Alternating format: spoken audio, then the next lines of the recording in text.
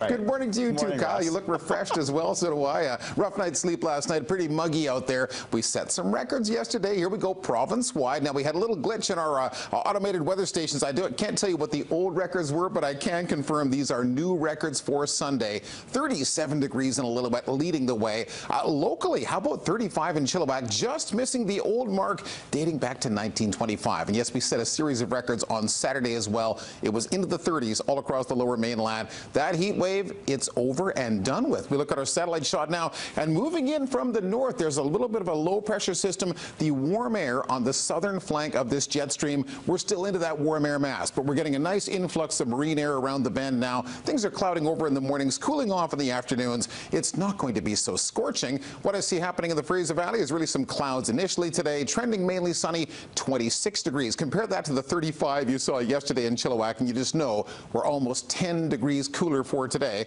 Similarly, into Metro Vancouver, clouds this morning, all about the sun this afternoon, maybe 24 downtown, about 22 degrees on the shoreline. So if you're taking it to the beach, it's still sunscreen weather. The heat is not going to wear you out. And here we go with a similar pattern really through most of this week. Morning cloud, afternoon sun, the mercury in the low 20s.